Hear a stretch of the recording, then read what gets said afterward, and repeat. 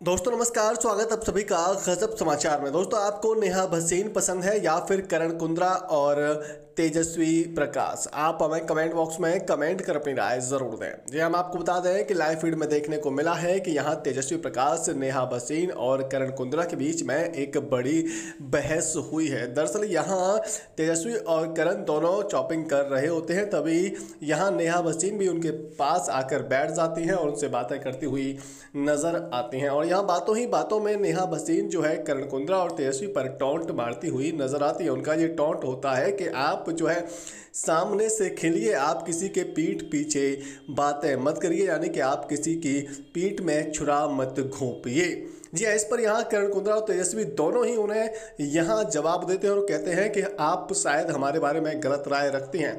आपकी सोच ही हमें ख़राब लग रही है क्योंकि हम यहाँ किसी के पीठ पीछे नहीं खेलते। हमारे सबसे अच्छे रिश्ते हैं, लेकिन हम ये नहीं कर सकते कि किसी के पीठ में छुरा घोपते हैं। हमारे साथ जो भी अलायंस में आता है, हम उसकी हेल्प करते हैं, ना कि हम उसके पीठ में छुरा घोपते हैं। जी हाँ तो इस तरीके से यहाँ नेहा भसीन करण कुंद्रा और तेजस्वी के बीच में ये बड़ी बहस हुई है। दोस्तों, इस बहस में आपकी क्या राय, आपके क्या है विचार, आप हमें कमेंट बॉक्स में कमेंट कर अपनी राय ज़रूर दें। साथ ही अगर आपको वीडियो पसंद आया है तो वीडियो को लाइक और शेयर करना तो बिल्कुल भी ना भूलें।